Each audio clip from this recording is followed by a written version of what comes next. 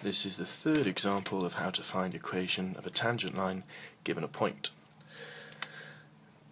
Here we have y equals x squared over x plus 2 at the point x equals 1 and y equals 1.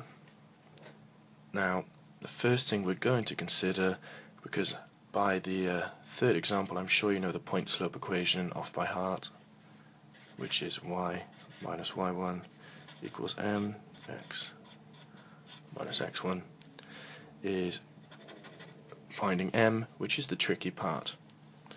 Now to find m, we differentiate y, and when we have some x divided by another x, I uh, tend to use y equals, I treat it as f over g, and have it such that the differential of y with respect to x is equal to f dash g minus g dash f over g squared. And I'll do a separate uh, video uh, which I'll link to right about here. Okay. Now if we have f dash and the f here is equal to x squared then we have 2x now, to avoid confusion, I won't be calling this uh, function of x because we already have an f in the working, so I'll call it dy dx.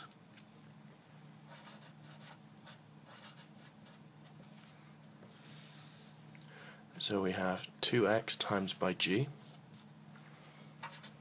which is x plus 2, minus g dashed, which is x plus 2 differentiated, which is of course 1,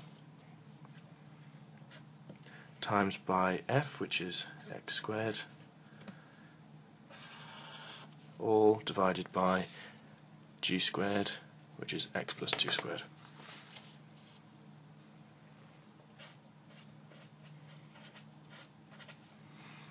And now to simply uh, find m, we substitute for the x value given, which is 1. So we have 2 times 1 is 2. 1 plus 2 is 3. Minus 1 times 1 squared. 1, one, one squared is 1, and 1 times 1 is of course 1, so we simply have minus 1. Divided by 1 plus 2 which is 3. 3 squared is 9. So if we refer to this as m, and we have 2 times 3, which is 6, minus 1, we have 5 over 9. Now we put this into the point slope equation. We have y minus the y coordinate given, which is 1, equal to m, which is 5 over 9 times by x minus the x coordinate given, which is also 1. Now, this would be an adequate answer, but we can simplify it a little bit further by multiplying throughout by 9.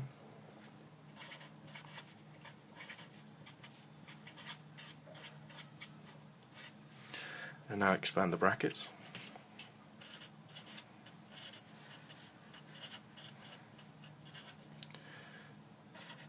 And put the 9 on this side. Minus 5 plus 9 is of course 4. Apologies. And if we divide throughout by 9 to get it in terms of y, we have that the equation of a tangent line uh, over y equals x squared over x plus 2 at point 1, 1 is equal to y equals 5x plus 4 over 9. Thank you for watching.